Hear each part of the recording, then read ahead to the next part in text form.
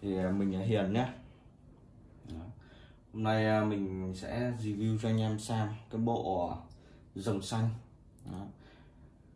À, cái bộ rồng xanh này thì à, hiện tại bên mình đang bán với giá là cái cây ngắn nhất ấy, là cái cây 52 cm đó.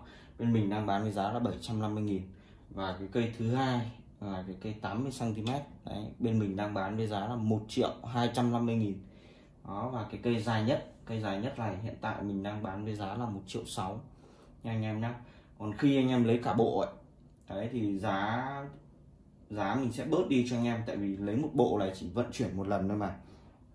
Đó thì uh, mình sẽ bớt cho anh em là còn 3 triệu cả bộ nhé 3 triệu là trong đó là có cả kệ rồi. Đó. trong đó có cả kệ rồi. Nha anh em nhé đó thì à, mình xin à, nói qua về cái bộ à, dòng rồng xanh này. Cái bộ này thì à, cái tông màu của nó là tông màu xanh thì anh em biết rồi. Đấy, còn à, các cái hoa văn họa tiết của nó thì đây chim cò. Đây sau này của nó là gần như là không không có cái gì nha anh em đó nó chỉ có mặt trước thôi. Mặt trước của nó hình là sông núi chim cò. Đấy. cây hoa cảnh vật các kiểu. Đấy. còn cái phần uh, chắn cái phần chắn lưỡi này chắn lưỡi này thì uh, nó là chắn lưỡi dạng uh, hoa mai nha anh em nhé. Hoa mai hoa đào gì đấy. Đây, các cái phần uh, bọc này. Các phần bọc này thì cũng uh, người ta cũng làm họa tiết là hoa mai hoa đào gì đấy mình cũng không rõ.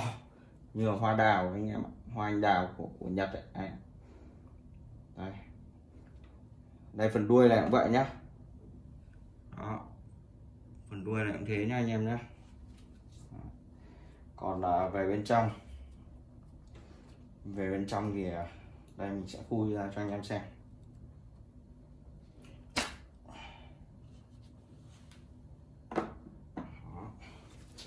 Lưỡi. Lưỡi của nó là có có vân này có vân này có rãnh thoát máu này. Đó.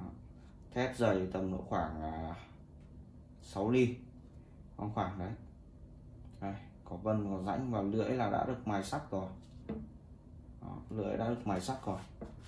Đây mình, à, mình test qua cái vỏ hộp bánh cho anh em xem nhé